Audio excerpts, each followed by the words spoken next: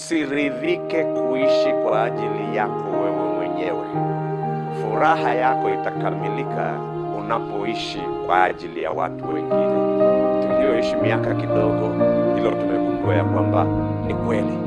Na wewe ukianza ujanani, ya kwamba mambo unayoyafanya ndiyo yatakunufaisha, lakini yanufaishi jumuiya ya watu wengine na kuboresha maisha yao. Hakuna raha iliyo kubwa inayokuja baadaye umekuwa mtu mzima, utakapotazama nyayo zake katika ujana na ukakuta ya kwamba uliacha alama za kudumu katika kuwafanya wanadamu wawe na furaha, wawe na amani, wawe na tumaini. Yohana aliandika akasema, nawaandikia vijana kwa sababu mna nguvu. Ni kweli,